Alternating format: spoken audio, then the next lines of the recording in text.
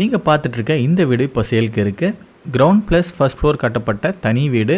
இந்த வீடு கட்டி ஏழு வருடங்கள் ஆகுது இந்த வீட்டோட லேண்ட் ஸ்கொயர் ஃபீட் அப்படின்னு பார்த்தீங்கன்னா நானூற்றி இருபது ஸ்கொயர் ஃபீட் கிரவுண்ட் ஃப்ளோரில் ஒரு ஹால் ஒரு bedroom kitchen bathroom and toilet தனித்தனியாக வந்து கொடுத்துருக்காங்க.